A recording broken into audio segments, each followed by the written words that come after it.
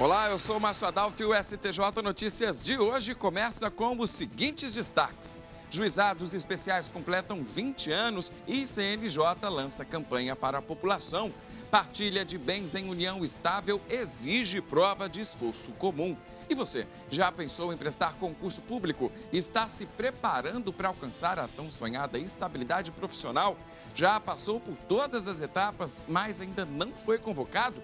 Então fique ligado que esse é o assunto que vamos discutir hoje aqui no estúdio. Tudo isso e muito mais agora no STJ Notícias, que começa conectado a você.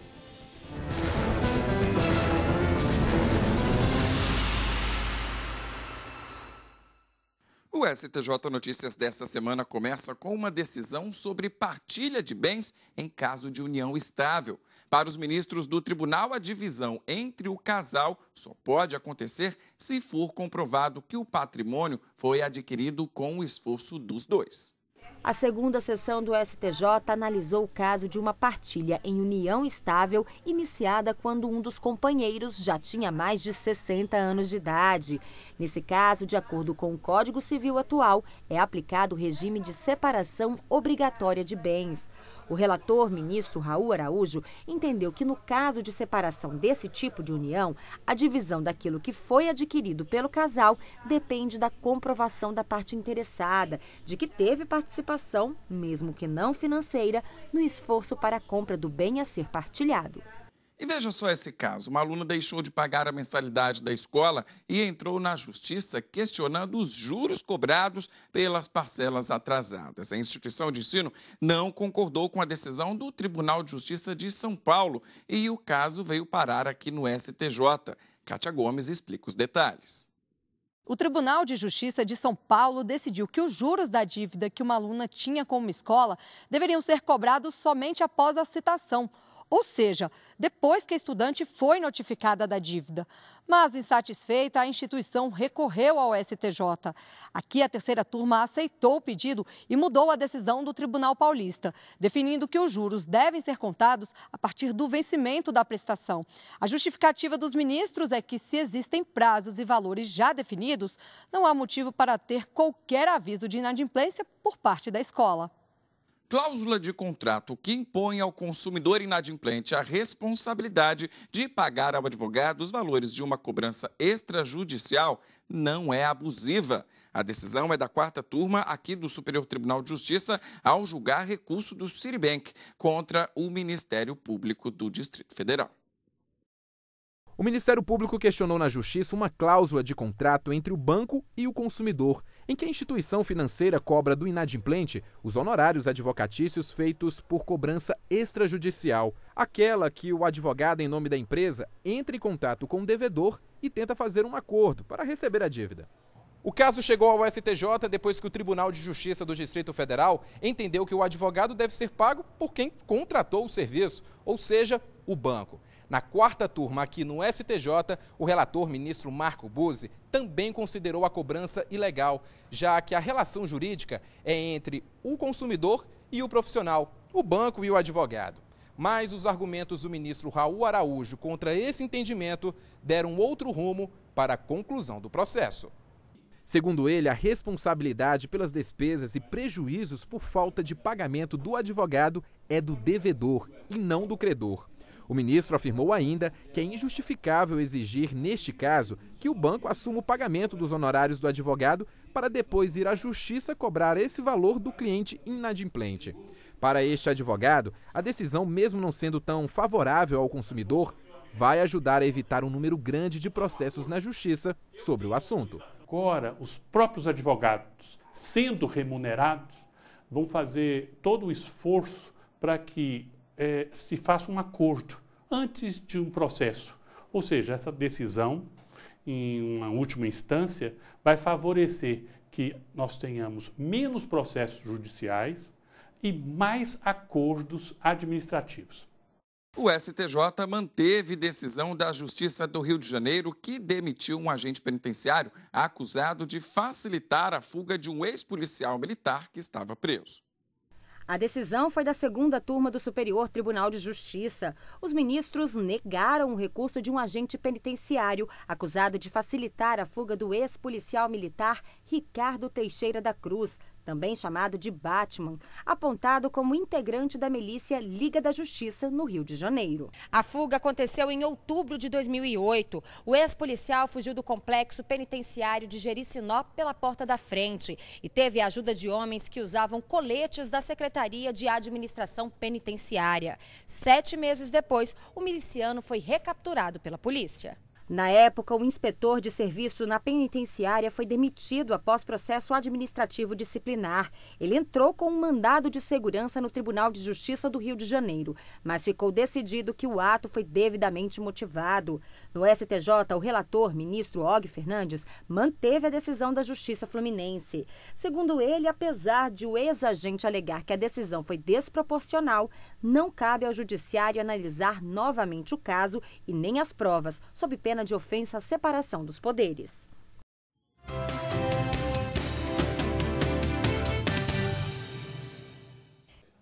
E essa semana tem entrevista especial da ministra Nancy Andrighi para os ouvintes da rádio do STJ. E quem tem os detalhes é ela, nossa produtora Ana Paulana. É sobre o que essa entrevista? Rafael, essa entrevista é sobre juizados especiais. A ministra Nancy Andrighi, ela é corregedora nacional de justiça. E a corregedoria, ela tem um projeto chamado, lançou um projeto, né, chamado Redescobrindo os Juizados Especiais. A ideia é mostrar a importância e a utilidade dos, dos juizados especiais, que também são conhecidos como juizados de pequenas causas. Quem ouvir a entrevista, por exemplo, vai ficar sabendo que no juizado de pequenas causas você não precisa de advogado, não tem custas. É, esse juizado é para questões de menor complexidade, então dá mais agilidade, é mais simples, então facilita a vida do cidadão que precisa desse serviço. E quem fez essa entrevista foi a repórter Fátima Ochoa. O material ficou tão bacana que, além do quadro STJ Entrevista, rendeu também uma matéria especial e esses dois materiais estão lá no site. Agora explica pra gente, porque já começou a mobilização aqui na redação para a cobertura especial do novo ministro. Quem é o ministro? O novo ministro do STJ chama-se Marcelo Navarro. Ele era desembargador federal, vem do Tribunal Regional Federal da Quinta Região e toma posse agora dia 30 de setembro. Nós estamos fazendo um material é, especial sobre o ministro, resgatando a trajetória dele, tudo o que ele já fez na magistratura, até chegar aqui ao STJ e toma posse agora para somar com os demais ministros aqui do tribunal.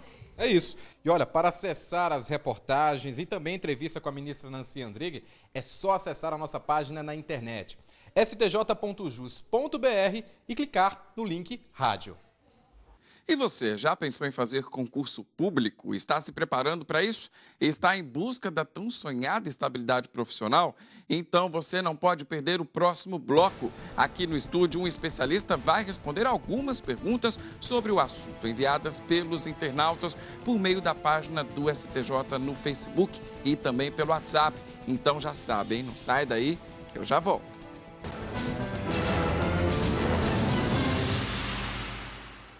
A legislação brasileira protege os bens de uma pessoa que não podem ser penhorados e leiloados para pagar dívidas. Ela tem o direito de viver dignamente, mesmo endividada.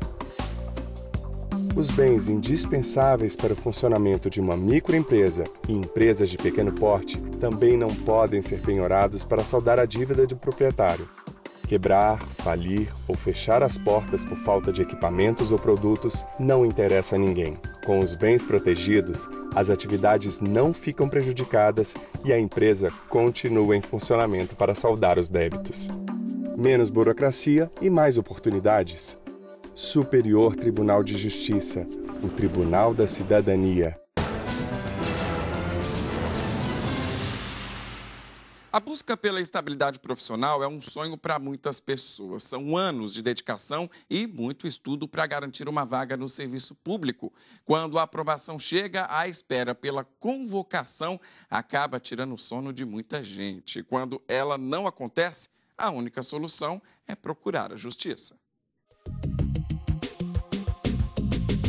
Quer tentar uma vaga no serviço público não mede esforços. Qualquer hora é hora para enfiar a cara nos livros. A Débora e os amigos de cursinho não param de estudar nem na hora do lanche. tenho horário para estudar, não. Eu estudo praticamente o dia inteiro, em torno de 12 horas. Estudo de manhã no cursinho, de tarde eu faço é, estudo sozinho com videoaulas e à noite também acabo indo para a sala de aula para assistir mais aulas.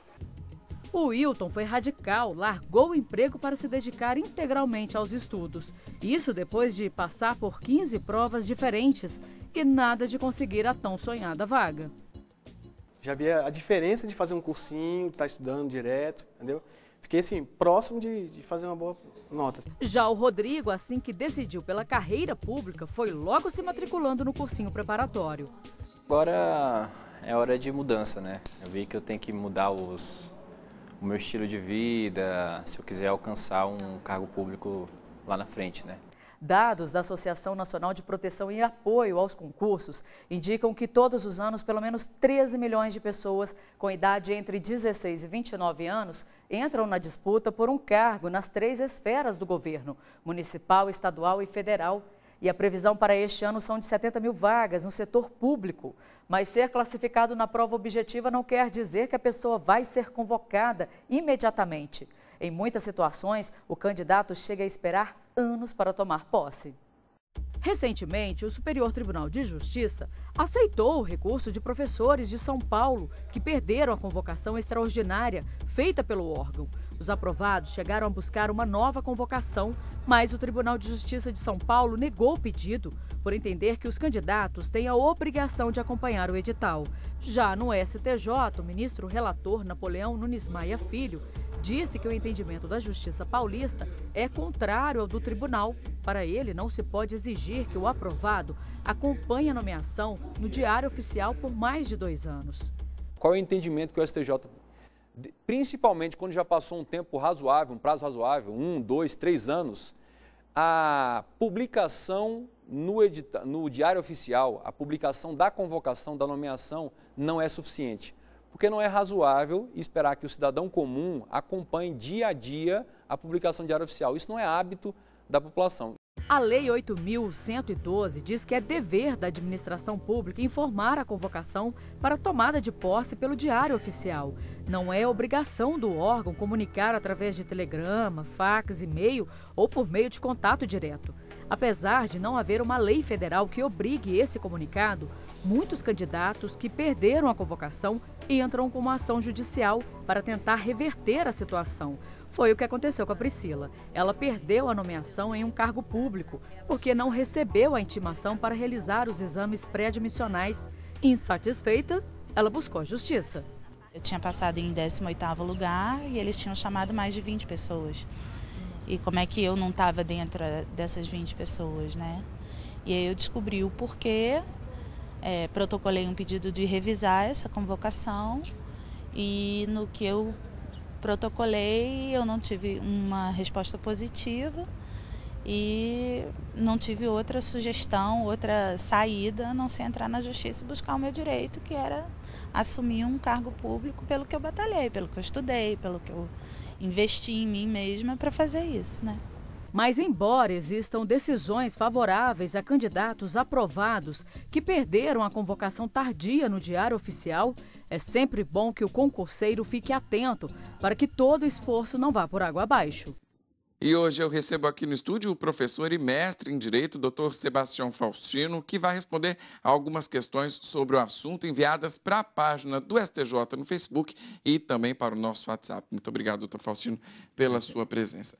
E olha só que legal. A primeira pergunta a gente recebeu de um telespectador, inclusive o tema do programa de hoje foi sugerido por ele. Ele mora lá em Aracaju, em Sergipe. O nome dele é Renato Severo e ele mandou a sugestão por meio da auditoria aqui do STJ e aproveitou para fazer uma pergunta. Vamos lá, ele diz o seguinte: a esposa dele, em 2013, fez um concurso para o Tribunal de Justiça do Paraná para o cargo de assistente social, mas até hoje, dois anos após o edital, apesar de todas as fases já estarem concluídas, não houve homologação do concurso.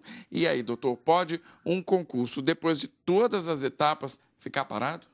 Pode sim, veja bem, o concurso ele é um ato discricionário. Na verdade, quando a administração abre um concurso público, o governador, o prefeito, no caso o governador, ele pode chamar dentro da disponibilidade econômica, financeira do Estado ou do município, no caso da própria União. Então, o quem, homologou, quem homologar, deve homologar o concurso, na verdade, ele tem essa discricionariedade para fazê-lo no tempo que ele julgar oportuno. Tá certo. Vamos então para a primeira pergunta também enviada pelas redes sociais do Willy Figueiredo, que ele mandou pelo Facebook. Após encerradas todas as etapas do concurso e a empresa divulgar o resultado final do certame, quanto tempo a gestão tem para homologar o concurso?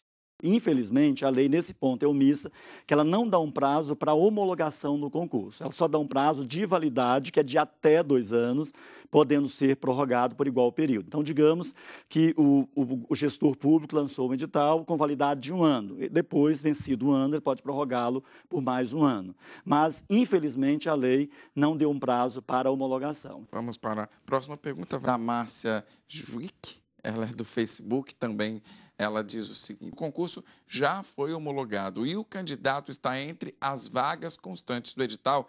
Existe a possibilidade do Estado não chamar por problemas orçamentários? Existe, principalmente porque hoje tem a lei de responsabilidade fiscal, que é a lei complementar 101 de 2000. Então, neste caso, ao contrário, se já atingiu o limite máximo de gasto ou de endividamento do governador, do prefeito, ou no caso do presidente da República, ele pode, inclusive, fazer corte com demissão de servidores ou dispensa de servidores. Porém, no caso de morte, aposentadoria, para as áreas de saúde, segurança educação, ele pode quebrar, entre aspas, essa regra da lei orçamentária e fazer o chamamento dessas pessoas, mas basicamente para, para essas três áreas. Agora, se a pessoa está classificada, o que não pode é fazer um novo concurso e chamar outros candidatos do novo concurso e não chamar os já aprovados. Vamos então para a próxima questão que veio do WhatsApp da Heloísa Santos, lá de Santos, São Paulo. Ela gostaria de saber se uma pessoa que for desclassificada, a lista tem que chamar o próximo?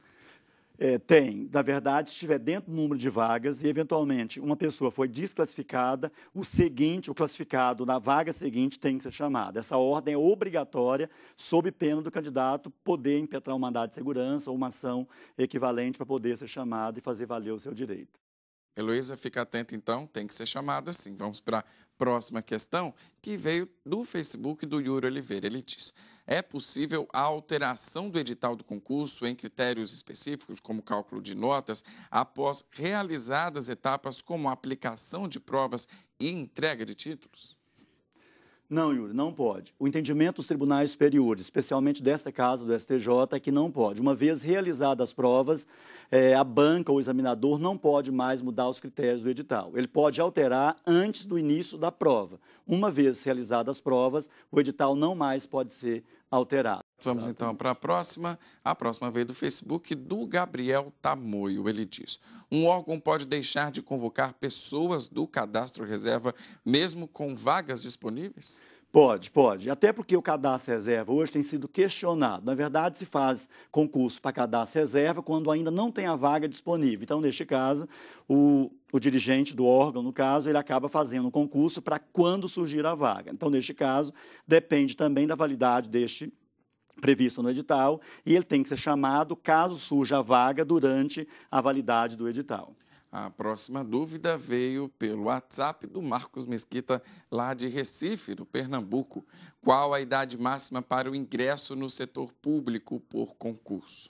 É, na verdade, a lei não prevê uma idade máxima para que você faça o concurso. Por via oblíqua, nós sabemos que essa idade de 70 anos, que é a que nós chamamos de expulsória, né, que é o limite máximo para que o servidor público se aposente. Então, se ele é obrigado a se afastar após os 60 anos, ou, ah, desculpa, após os 70 anos, então ele poderia fazer o concurso até completar os 70 anos. Hum. Após isso, não mais. Próxima questão, também pelo WhatsApp, da Cristiane Cavalcante, do Recife, Pernambuco, mesma cidade. As bancas de concurso sempre indeferem pedidos de portadores de doenças reumáticas que se enquadram como deficiência, a participarem como deficientes físicos.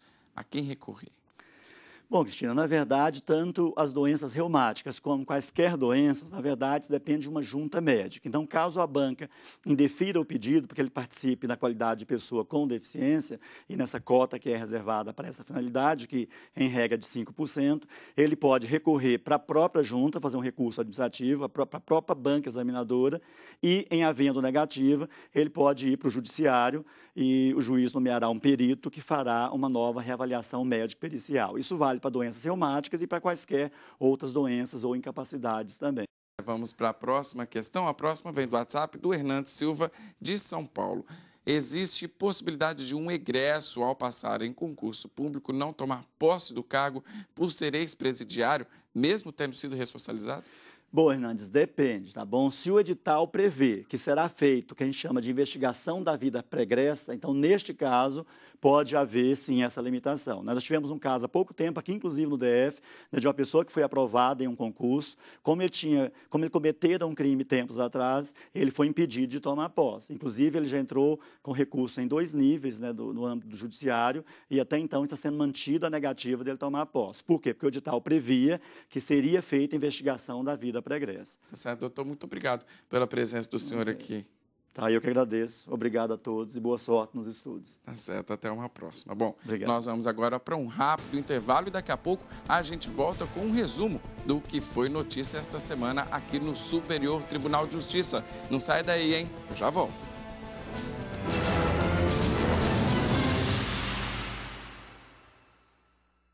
Uma empresa em recuperação judicial pode participar de licitações, mesmo que a lei obrigue a apresentar certidão negativa de falência ou concordata. A recuperação judicial cria condições para a empresa superar uma crise econômica ou financeira, preserva o emprego dos trabalhadores e o interesse dos credores. A disputa em licitações amplia as possibilidades de trabalho estimula a atividade empresarial. Menos burocracia e mais oportunidades. Superior Tribunal de Justiça, o Tribunal da Cidadania.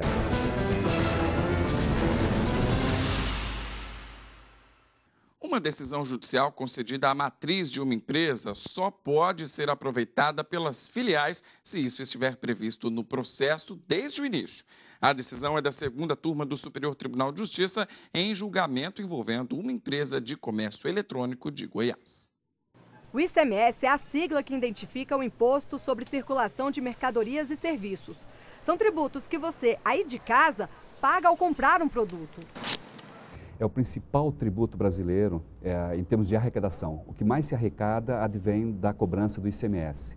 E no ICMS é um tributo geral sobre consumo. Você consumir qualquer bem ou serviço de comunicação, de transporte, você paga o ICMS. Ele paga para o comerciante e o contribuinte de direito, que é o comerciante, ele recolhe para os cofres públicos, no caso do Estado e do Distrito Federal.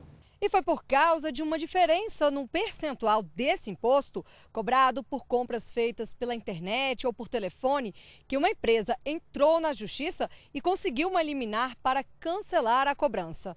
Mas ela queria que a decisão que suspendeu o pagamento dessa diferença do ICMS fosse estendida automaticamente para as filiais do grupo. O Tribunal de Justiça de Goiás negou o pedido. A empresa então entrou com recurso no STJ. Segundo o relator, ministro Humberto Martins, para que a liminar seja aproveitada pelas filiais, os estabelecimentos devem ser minuciosamente descritos no processo desde o início, não sendo automática a extensão dos efeitos da decisão. Não poderão as filiais que não forem nominadas na ação se aproveitarem ou a, a, alcan não alcança as filiais que não estiverem nominadas na ação. Chegou a hora da agenda cultural do STJ. Vamos ver.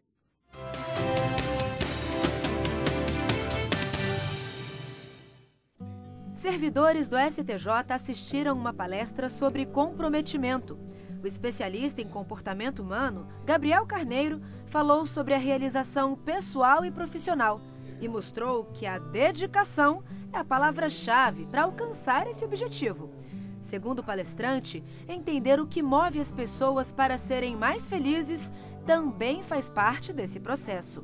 O ciclo de palestras Encontro com Notáveis, promovida pelo Programa de Desenvolvimento Gerencial do Superior Tribunal de Justiça, tem como objetivo debater e provocar reflexões sobre temas de gestão, sempre com apoio de especialistas.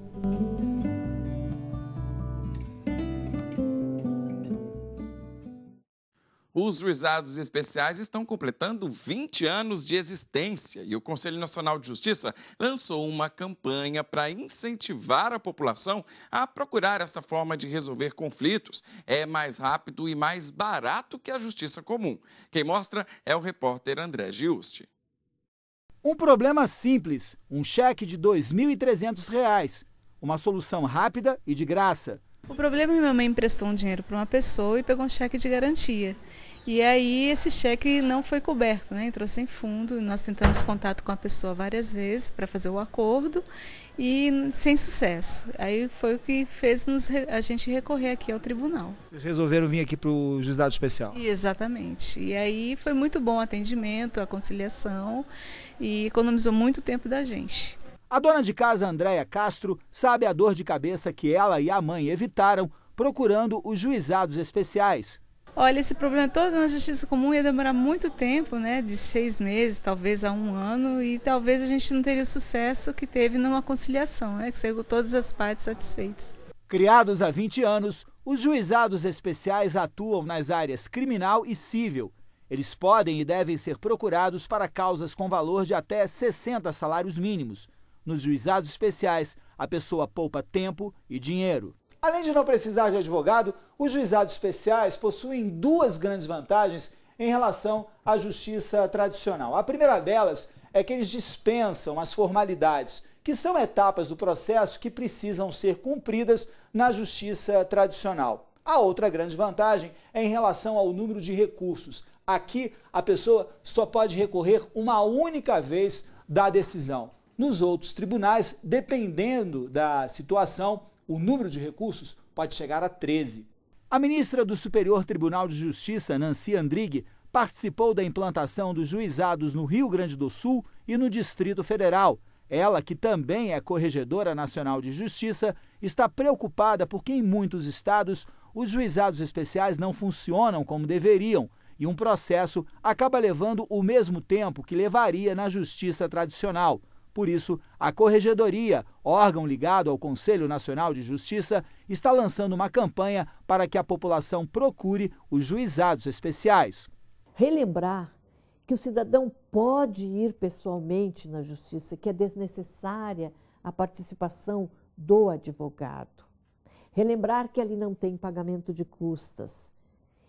E lembrar os juízes de que este apartamento de justiça tradicional e justiça especial é fundamental para manter vívida a chama de esperança criada pelos juizados especiais na população, de que é uma justiça célere, porque ela é simples e informal. Oswaldo Marcolino atuou como mediador logo no início dos juizados e lembra como os casos eram resolvidos dava um giz para cada uma das partes, um giz branco, um monte de carrinho. Então a gente perguntava onde é que foi o acidente? Foi em tal lugar, na tesourinha tal. Então a gente riscava no feltro verde com o giz branco e depois cada uma pegava um carro. E a gente dizia, então agora faz o caminho que você estava fazendo e você também faz o caminho que você estava fazendo. Vamos ver como é que chegou o acidente.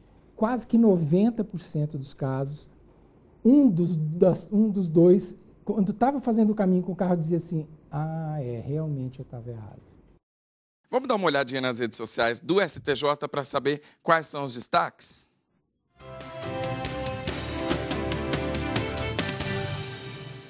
Bom, temos aqui vários posts em comemoração à Semana Nacional do Trânsito e o STJ te convida a participar da campanha Seja Você a Mudança no Trânsito. O objetivo é fazer com que as pessoas reflitam sobre atitudes essenciais que podem evitar conflitos e problemas no cotidiano.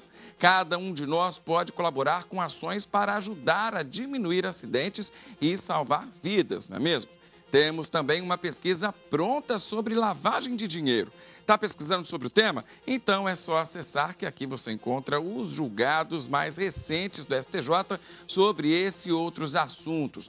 O resultado é atualizado em tempo real e separado por ramos do direito e assuntos de maior destaque. O STJ também está no Twitter. Aqui você fica por dentro de todas as decisões do tribunal. Não deixe de conferir. Vamos agora para um giro rápido com as últimas notícias do Superior Tribunal de Justiça.